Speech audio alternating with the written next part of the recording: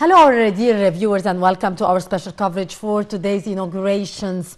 President Abdel Fattah al-Sisi inaugurated on Wednesday a number of national projects in the sectors of housing and road construction at Sheikh Zayed and 6th of October cities. President Sisi witnessed the inauguration of El Mariotia Access Road and El Mansouriya Bridge via video conference. The president stressed the importance of the new projects in establishing more than 100,000 housing units, easing the traffic movement and providing job opportunities. The head of state was accompanied by Prime Minister Mustafa Madbouli and a number of ministers and states officials. During the inauguration, the head of engineering authority reviewed the construction and developing roads and accessing the Giza governorate, referring to that come within the initiative of the decent life to develop the rural areas. To shed more light on that, we are very much delighted to be joined over the phone by Dr. Mohammed Rushdi, Professor of Economics. Good afternoon to you, Dr. Rushdi. Uh, good afternoon. First of all, I would like to say good evening to you and our audience, and I would like to thank uh, the program team for today's invitation. Uh, thank you very much, Dr. Rushdi. Dr. Rushdi, actually, Egypt has been witnessing a momentum in the construction of the new roads and bridges. Would you please give us an overview of the road projects inaugurated in Sheikh Zayed and the 6th of October today? Uh, actually, before before discussing uh, discussing this mm. crucial point, uh, I would like to highlight that currently what's happening in Egypt, we are being the fruits of a lot of things. Mm. I would like to start my today discussion with one of the famous idioms for Steve Jobs. To me, ideas are worth nothing unless executed. Uh, and also one of the famous strategic planning sites called Henry Mintzberg. It is mm. easy to plan, but it is difficult to implement. That challenge was in implementation. Actually, I would like to take you and our audience through uh, the Egyptian inspirational journey. Mm. Actually, we are bearing the fruits of since uh, President Sisi succeeded to overcome mm. a lot of political and economic issues during the last seven years, actually starting from the economic reform, the devaluation, the interest rate, how we managed the interest rate, mm. how we controlled the inflation, uh, how the the uh, the government uh, try mm. to absorb uh, the the high inflation and the monetary policy committee how they managed all of mm. those things in addition to uh, decrease the cost of debt and uh, sustain FX rate and the new law investment law, FDR, the financial inclusions, a lot of things that mm. reflected positively on this. Uh, actually, starting, uh, we increased uh, the foreign currency reserve to mm. reach mm. 45 billion instead of 19 billion mm. before the devaluation and the new banking law. A lot of things that happened mm. during the last uh, seven years and uh, possibly impacted our uh, our country.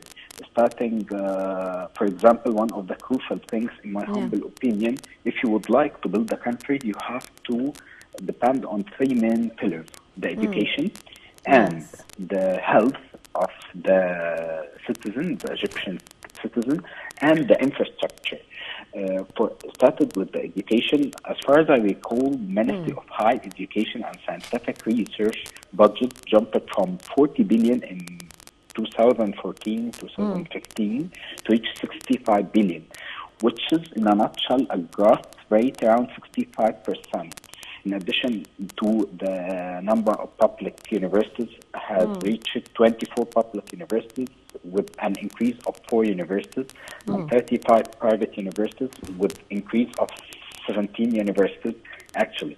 And to go for the second point, which is the health mm. budget, it increased in a great way and efficient way. Mm. And the most important thing, which is today we are being the fruits of those things, the infrastructure. Actually, mm. uh, we have a lot of mega projects starting. Uh, the new Egyptian museums, Canal project, the administrative capital, uh, in addition to as far as I call uh, the, as far as I recall, uh, mm. uh, creating Middle East largest private medical city, uh, the Daba nuclear power planet mm. project, which has reached to budget 29 billion, yes. uh, and uh, to get renewable energy, the concentrated solar power CSP planets cost around 1.2 billion dollar in addition to the new uh, entertainment district which is, will cost uh, 20 billion dollars. Yeah. uh, in the new capital all of those things reflected positively. And in my humble opinion if you would like to have a great country with with a strong economy uh, you have to invest in people and to in, to enhance their uh, life standards. Actually, this is the objective of today's projects. The housing projects, as you said, there are a lot of uh, projects, housing projects uh, that President Sisi opened in addition to the infrastructures. Uh, according to Maslow pyramid hierarchy of needs, the first thing you have to uh, to have a strong country, you have to uh, offer uh, food and housing for people, and then safety and belonging and self-actualization, uh, self-esteem, and then self-actualization. We are trying to offer people in Egypt the housing to let people staying in a safe place and they have uh, to be comfortable that Yeah. this is possibly will reflect on our performance and the productivity per citizen. Actually, for that reason, uh, a lot of mega projects and housing projects to little bit decrease the concentration on the old uh, town. Yes. Actually, uh, Dr. Rushdi, uh, the president said that the road uh, projects being constructed in Egypt are not a luxury, but aim at opening new pipelines for the investment. What is your uh, take on that? Uh, I, I actually, I, uh, in my humble opinion, I, I do support uh, this point. course. Uh, when we are investing in infrastructure, we are sending a positive signal to the global community that Egypt is on the right track, uh, and to get uh, more FDI uh, for the country actually, and this is possibly reflected on a lot, a lot of things that the, the government uh, uh, being the fruits. By the way, that the international, uh, the international, uh, uh, ra- uh, the international rating agencies and uh, a lot of agencies that uh, possibly rating Egypt on a credit risk on a lot of things in a positive way. By the way, UNCTAD ranked Egypt as the top FDI destination in Africa between 2016 and 2020. Yeah. Actually, Egypt has passed a number of regulatory reform laws, including a new investment law in 2017, a new companies law and bankruptcy law in 2018, as far as I recall. Uh, and a new custom law in 2021. Those tiny things helped uh, Egypt to get to be recognized from a lot of uh, famous and global agencies and centers globally that uh, Egypt uh, on the right track. And actually uh, it's reflected in Egypt's economic growth rate increased by 9.8% in the first quarter of fiscal year 2021 and 2022. Uh, this is actually uh, in addition to uh, the GDP growth uh, growth in Egypt, uh, as far as I recall, in 2021, it's, Yes. uh, it increased uh, in a good way. Uh, we are, despite the fact the uh, coronavirus pandemic, Yes. actually uh, we are sending uh, a positive signal to the global economy that we are the ideal economy for investors. This Indeed. is reflected on attracting more and more FDI. For Of that course. reason, we are recognized from an international uh, agency that Egypt on the right track and possibly attracting is affecting FDI. In addition to, I would like to highlight that that our credit risk as a country increased by Moody's and Fitch to be uh, B plus with positive outlook. Yes. Actually, Indeed, uh, Dr. Muhammad Rushdi, Professor of Economics, thank you very much for your precious input and uh, for being our guest uh, for uh, today. Our dear viewers will go to a short break, and after that, that we'll be back to continue our special coverage for today's inauguration by President Abdel Fattah al-Sisi to a number of national projects in the sectors of housing and road construction at Sheikh Zayed and 6 of October cities.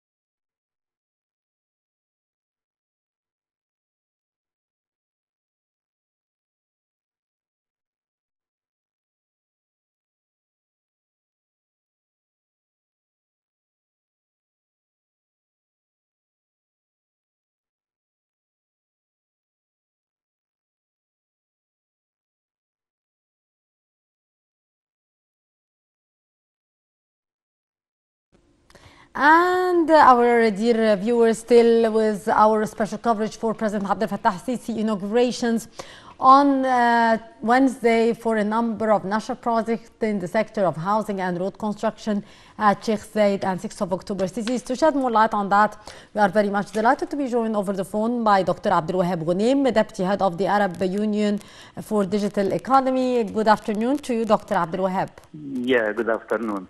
Uh, sir, uh, how do you see the significance of the inaugurations today made by the President in the sectors of uh, road projects uh, in Sheikh Zayed and 6 of October cities?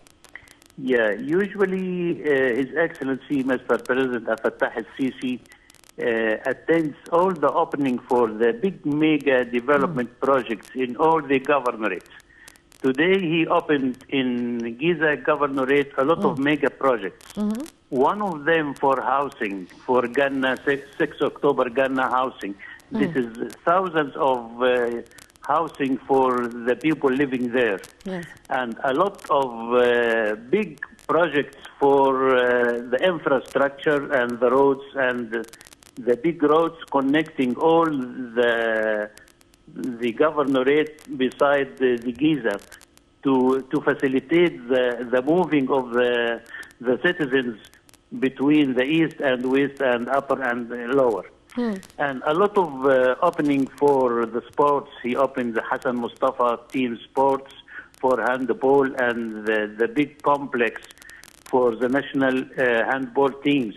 Yes. I think all these projects, it seems to be part of the decent life for the uh, for the Egyptian citizens, for housing, for uh, transport from any place in to another place in easy way and in comfortable way. And w- soon he opening uh, the the the roads for the electric transportations uh, in the ring road and all these things. It is uh, part of uh, Egypt uh, Vision 2030 for sustainable development. Yes. Sir, uh, what is the direct effects here of the construction of new roads connecting the capital with new cities uh, countrywide on the economic and investment levels? Yeah, all these all these projects, it uh, offering for the citizens easy way, saving time, saving money, and saving pollution for uh, uh, the transportation. Yeah. The, the, the, the normal tran- transportation. When we're saving all these things, we uh, think all these projects as the part of the green economy. It saves money for the government. All this money going uh, to another projects like Yes. uh, improvement for the health care and uh, education. Yeah. All these, all these parts of the uh, our uh, Egypt vision, it's going to uh, to raising our uh, KPIs in the national and international organizations, Yes. and again it raising our GDP in in economy. Yes. Uh, uh, Dr. Ghunim, um, how does the building of the new raid uh, and roads and bridges spread and encourage the development in nearby areas and cities? I think now His Excellency Mr. President have a long vision to build around 30 new uh, intelligent or smart cities. When we're building now these cities, we're going from the 5% we're living from land, we're going to the desert. Yes. For new building there, uh, to uh, to uh, to got uh, we, we we exceed around two millions per year. This is now we need a lot of houses, a lot of units outside uh, the Nile the Nile uh, River. Yeah. All these things help Yes. the government to give the citizen uh, a, a decent life, life in, in healthy care, in uh, education, to live in uh, green areas, and all this, as His Excellency is saying, using we must use the high technology dig- digitalization Yeah. uh, and uh, uh, in high performance and standards uh, to to give the governance for all these uh, mega projects. Yes.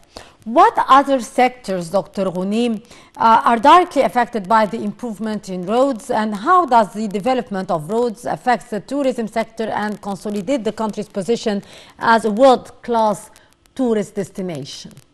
Yeah, I think uh, His Excellency uh, concentrated on using uh, the ICT projects as a communication and information technology to accelerate all these projects in high performance because you know all the projects now has a high tech performance.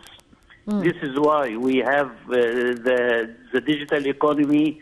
We have a lot of uh, platforms for e-commerce, a lot of uh, initiatives for digital transformation to, to offer all the government ser- uh, services to the citizen through mobile apps or through uh, Egypt digitalization platforms Yeah. and paying all the uh, the fees for these uh, uh, uh, services in digital form to going to less cash uh, society. Yeah. Uh, sir, if we speak of uh, slums development, would you please shed light on the progress made in this sector in particular?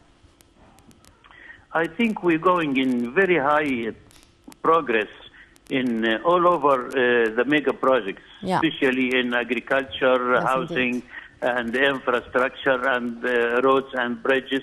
We're going in high standards uh, Yeah. and uh, high governance to get the, the highest performance in all these projects.